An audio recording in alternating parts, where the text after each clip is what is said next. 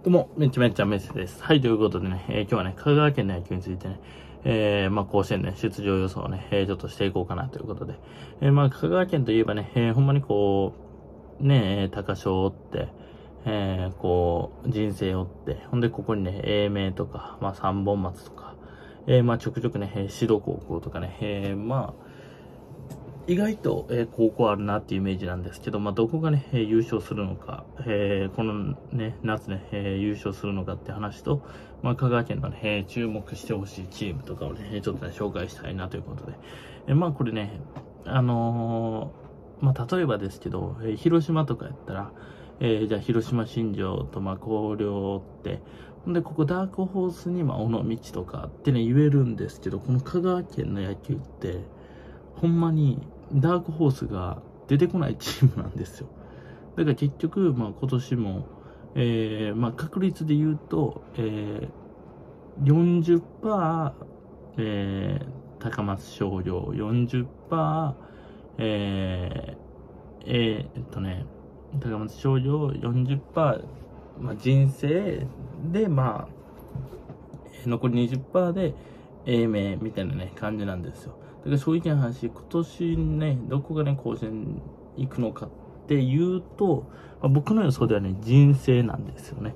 えー、まあ、それについてね、えー、ちょっと、ね、詳しくね、話すんですけど、えー、まずね、高松商業は、まあ、今年もね、146ホルコーもいますし、まあ、142枚いますから、えー、やっぱり、何やかんやでね、やっぱりこう、甲子園で勝てるようなね、チームをしっかりね、作ってきてるなっていうのがね、やっぱ高松商業で、実際ね、春もね、優勝してるんで、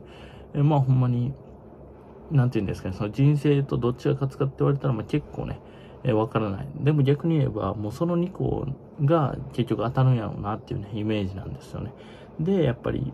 ピッチャーのね、えー、質もいいんですけど、なぜね、高松商業がね、えー、この夏ね、勝てないのかっていうと、これね、あのね、今やっぱね、これ人生の方が、ね、あの、春はね、実際ね、えー、高松商業が買ってるんですけど、夏で低反発ってなると、これ高松商業からすると結構ね、不利なんですよ。やっぱ人生の方が、何がいいっていうと、やっぱりね、野球の仕方がね、賢いんですよ。で、野球の仕方が賢いって言い方変えたら野球のやり方がせこいんですよ。だから人生ってほんまに、まあ、大阪改正と似てるんですよ。で人生の、まあ、やったら、こう、なんていうんですかね、株組織の参加みたいなのに改正があるみたいな。だからこう、人生野球を取り入れたのが改正やったんで、えー、で、その人生ってどんな野球かって言ったら、めっちゃ野球がね、えー、細かい。で、手堅いんですよ。だからこうね、え、派手にめっちゃ打つやつがおるかって言われたらそうじゃないんですけど、えー、守備うまくて、えー、エントランとかバントとかうまい、そういうね、器用なやつが、え、おるんですよね。おるっていうかそういうのが試合に出れるチームなんで。だから守備もね、やっぱこう、高校一番で、え、しっかり、チャラくない守備っていうのをね、できるチームなんで。だからそういう意味ではね、これ人生学園の方が夏に関してはね、有利なのかなと。でも他にもね、いるんですよ、結構。ね、えー、選手が。で、やっぱ高松商業って、まあほんまに言い方悪く言ったらね、チャラいんですよね。だからこの夏のここ一番はやっぱ人生の方が歴史的に見たら勝ってきてるんですよ。でも高松商業がなんで勝ってるかって言ったら、やっぱポテンシャルのね、あるね、それこそ、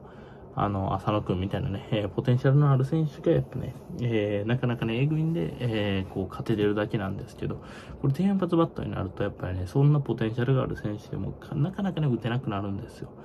だからこう、ロースコアなね、戦いになってくるっていうと、やっぱり僕はね、人生の方がね、一枚上なんかなってね、思っちゃいますね。だから逆に言えばなんですけど、英明のその20%って今年はね、選手ね、全然揃ってないんですけど、やっぱりあの、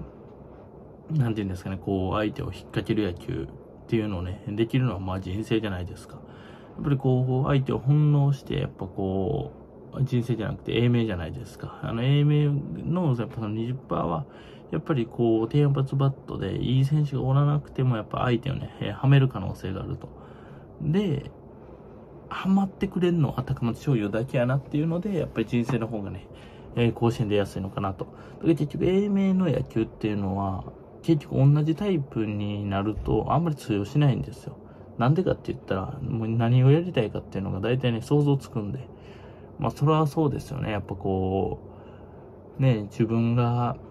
左ピッチャー、なよくあるじゃないですか。もう自分がね、キャッチャーやったら相手ピッチャーの配球読めるとか、えー、ね、